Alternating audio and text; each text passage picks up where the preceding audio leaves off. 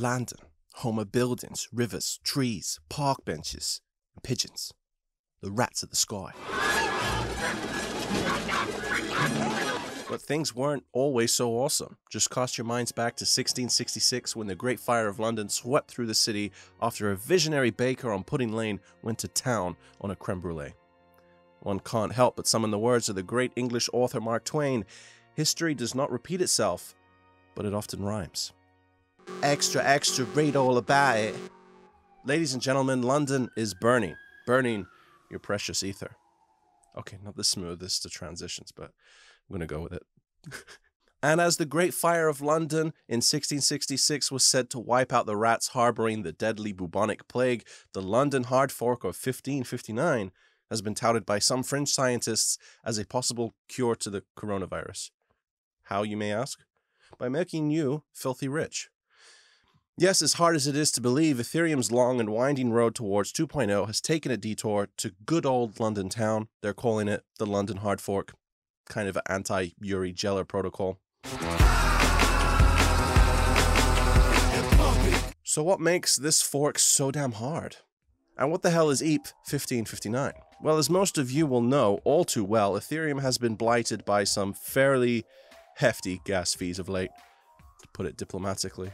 Think of it as blockchain's equivalent to the London congestion zone, which has been using the inner city's road network unfeasibly expensive for your average Joe. Ethereum Improvement Protocol 1559 seeks to solve the issue with a radical overhaul to the transaction fee mechanism and a promise to bring cheap and cheerful gas fees to all. I'll believe it when I see it. Until now, Ethereum's gas fees have effectively gone to the highest bidder. Users wishing to make transactions on the blockchain would generally fall into two camps high rolling fat cats bribing their way to the front of the queue, at 270 million, the hand goes up. And us regular folk who grew wearily accustomed to the delicate dance of trying to calculate the lowest possible gas fee that might one day, years from now, possibly, maybe eventually clear before crossing our fingers and hoping for the best. Enter EIP 1559. Woo! Superhero landing! Yeah, that's really hard on your knees. Which promises to level the playing field by setting a base fee for every transaction block. Sounds a bit like communism.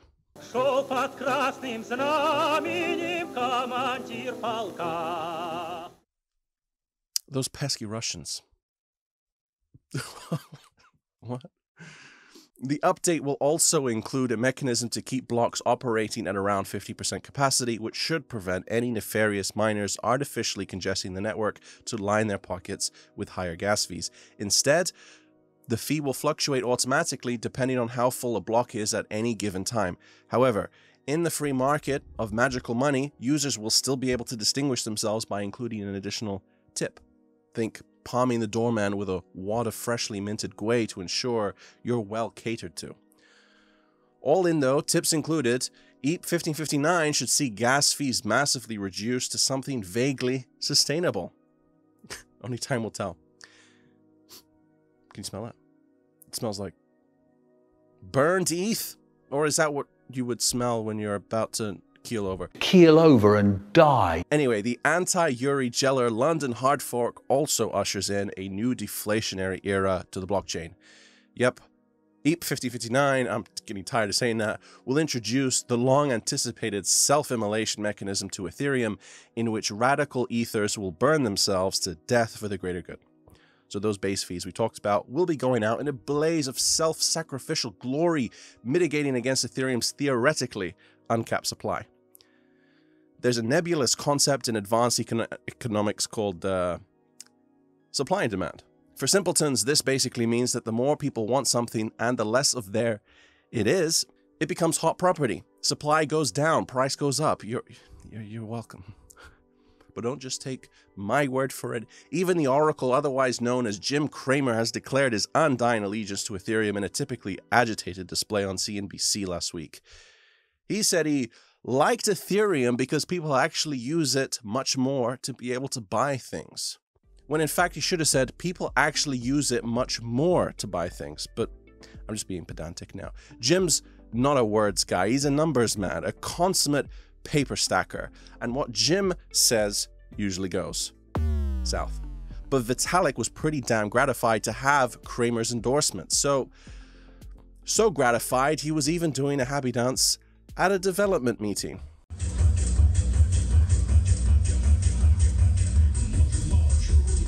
All jokes aside, Given the unprecedented explosion of NFT and DeFi in recent months, Cramer's sweaty fingers are presumably on the pulse here, as data from CryptoQuant confirms the amount of ETH being staked on 2.0 has seen a dramatic rise in recent weeks, amounting to the handsome tune of over $13 billion, or roughly 5% of all ETH in circulation. Now locked and loaded, Ethereum inches towards Proof of stake with 2.0, the anticipation and hype is steadily reaching fever pitch. But now onto a quick update from the black sheep of the family, the wayward Ethereum Classic. After years of soul searching in the forgotten depths of the internet, 2021 saw Ethereum Classic playing the role of unlikely hero after Redditors decided it would be a fitting candidate for a little bit of market manipulation, which saw its price pump a staggering 700%. It appeared Ethereum Classic didn't quite know how to handle this newfound attention, and it soon retreated to a more comfortable spot in the shadows it had grown accustomed to. However, a recent and notable first upgrade to Ethereum Classic with a very cool name, Magneto, saw a price pump of a whopping, and I do mean whopping, 7%. Still, pretty big stuff for the this washed up has been. Poor Ethereum Classic has a pretty tragic origin story. It came into being in 2016 after a major dispute in the Ethereum community over a controversial hard fork. Here are the cliff notes. Please allow me some dramatic license. In 2016, a mysterious venture capital fund called DAO was built on the Ethereum network with an investment of over $186 million. But this was no fortress, and it turned out DAO was subject to some pretty serious security flaws the gates were breached, and some geeky, bespectacled bandit snuck in and nicked over 14% of Ethereum locked up in the vaults. Two camps emerged. One, led by the wizened battle axe Charles Hoskinson, took the position that since this was a decentralized network, the ETH was gone and there was nothing anyone could do about it. But his arch rival, this spindly ninja Vitalik Buterin, decided to lead a recovery mission to retrieve the stolen treasure. They ventured into the belly of the beast, summoning a new hard fork to help them on their mission. But some defiant nodes dug in their heels and refused to accept this fork, only to have their fate sealed for them.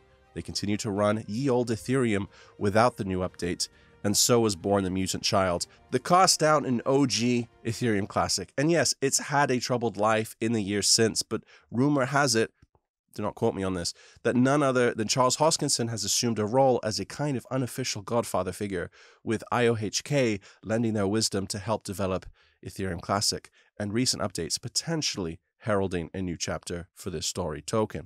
What will the future hold? Who knows, but with some kindly Uncle Charles as something of a champion, anything is possible. Anyway, that's it for the full Ethereum family update. Plenty of drama, intrigue, and possibly positive price potential. That's a lot of P's enjoyed on both sides of the aisle. Leave a like if you enjoyed, hit subscribe, and follow me on Twitter. I post bite sized content over there. See you on the next one.